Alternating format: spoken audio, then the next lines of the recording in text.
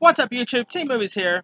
Entertainment Studios has dropped a trailer for this upcoming comedy titled The Wedding Year, which is directed by Legally Blonde director Robert Luketic and stars the likes of Sarah Hyland from Modern Family fame, Jenna Dewan, uh, who was, of course, married to Channing Tatum and was in uh, Step Up and all, uh, Anna Camp from Pitch Perfect fame, the very funny Wanda Sykes, Noureen DeWulf, uh, Matt Sh- uh, Shively, Everybody Hates Chris star uh, Tyler James Williams, Darlene Bogo, Camille Hyde, Grace Helbig, and Keith David. The film is about this uh 27 year old's uh, relationship who's uh put um who's pretty much uh put to the test when she and her new uh boyfriend go to uh seven weddings in like the same year and all, and she also finds out that her sister's getting married too, so you know she's trying to uh, attend her wedding as well. And, all right, so they dropped the trailer for this, and I thought the uh, synopsis sounded cute. I mean, it sounded like it could be interesting. But my god, this trailer looks awful. It, I really, I did not laugh at all with this trailer.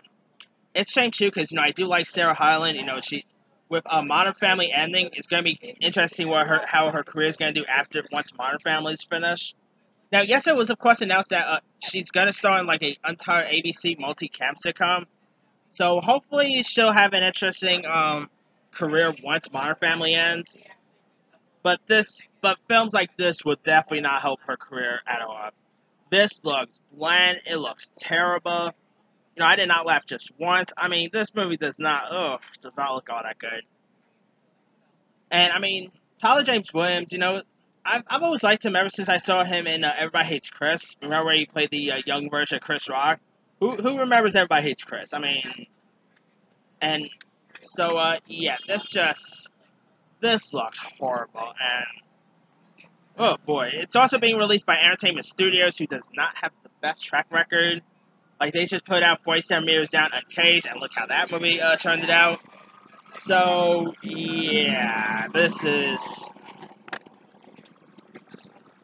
yeah, this is gonna be one. This looks like it's gonna be one horrible film.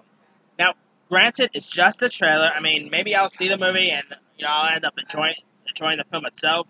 That's always a possibility. But all I know is the trailer did not give me anything like did not do anything to get me interested in watching it. So yeah.